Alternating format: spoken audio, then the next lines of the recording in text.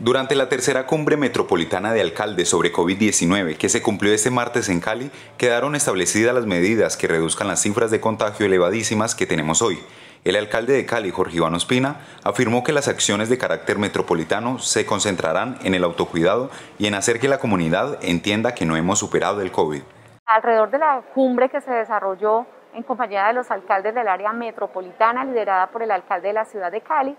con asistencia también de la Secretaría de Salud Departamental,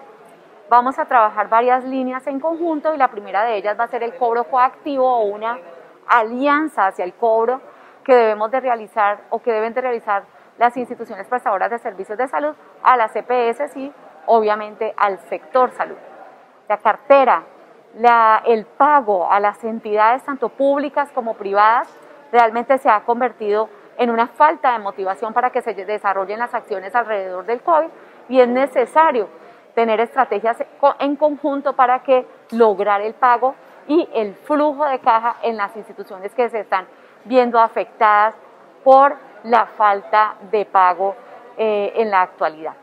Segundo punto, trabajaremos alrededor de la pandemia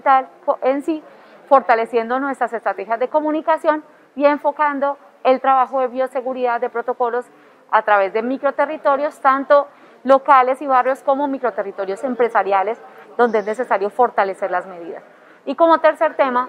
valioso e importante, la vacunación. Tendremos estímulos públicos y estímulos empresariales para que las personas accedan a la vacuna. Los incentivos públicos estarán enfocados a una población específica eh, determinada y estamos y haremos un llamado a los empresarios para que también aporten en esos estímulos o en esos incentivos ya alrededor de cómo acceder a servicios que permitan que la población, más allá de acceder, lo haga a través también de unos incentivos. Estas serán algunas de las medidas que serán también establecidas a través de un decreto para eh, que será y regirá a partir del primero de julio.